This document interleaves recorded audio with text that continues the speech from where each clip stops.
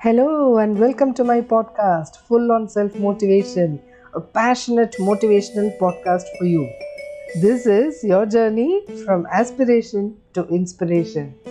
Hey there, thanks for showing interest in my book, The Five Secrets to Sustainable Self Motivation. Now get ready to listen to chapter 1 of my book. Thank you. Chapter 1 Introduction Home, the spot of earth supremely blessed, a dearer, sweeter spot than all the rest. By Robert Montgomery. A bright and beautiful Sunday morning began with fresh air making its way into Vibha's bedroom. A beam of sun rays lightened up the room and brought in some warmth. She woke up and checked the clock. It was only 6 a.m. Pampering herself, she thought, Today is Sunday, no alarm day. I don't want to get up before 8. Getting up early on a holiday and realizing that she had some more time to sleep was bliss to her. She continued to sleep until the clock ticked 8. Vibha, true to her name, was a bright, fresh faced, middle aged woman. Still in her pink night dress, she rose from the bed to see the mirror, highlighting her almond shaped friendly eyes, sharp nose, and dimpled chubby cheeks.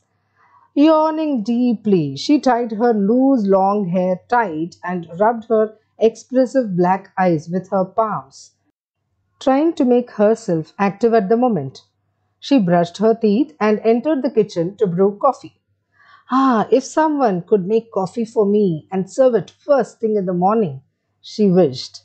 This would be the dream of almost every woman, especially on a Sunday morning, after having spent the whole week running around.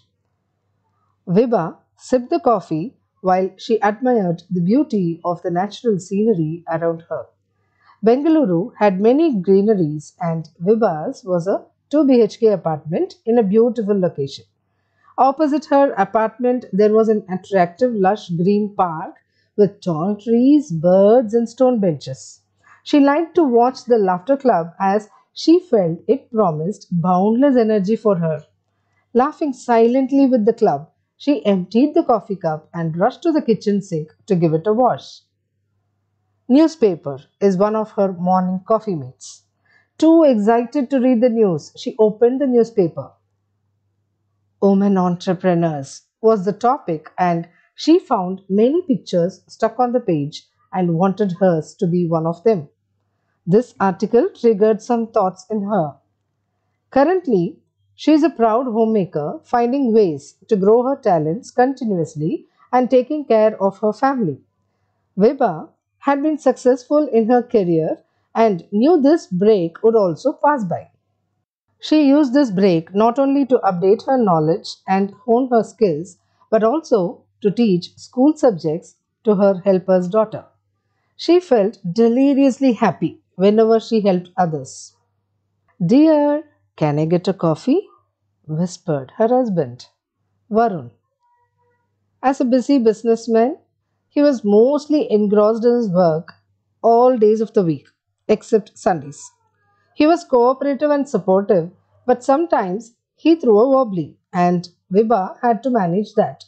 He was pretty hasty in decisions, hence, Vibha had to make sure that any decision taken was a collaborative effort in her family. Vibha served Varun the first morning coffee and transferred the newspaper from her lap to his. He started gazing at it and quickly turned the page to the business column. By that time, Vibha's in laws woke up and she got their morning coffee served at the table. Vibha was planning for brunch and heard, Mom, milk please, from her dear daughter Vinaya. Her son Vikram got up and completed his morning routine with Vibha's help. Post brunch, the family got busy with their chores. In the evening, the family loved to go to the park where Vibha had a weekly meeting with her friends just like her family members did.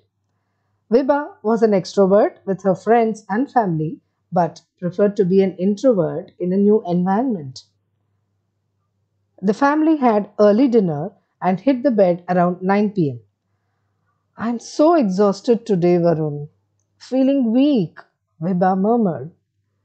You're just a homemaker. You can't be tired, reacted Varun. Vibha was not hurt. She pitied his ignorance because this was not the first time she heard this. Her friends too had discussed with her the same plight with their husbands. What's that? Just a homemaker? she asked herself.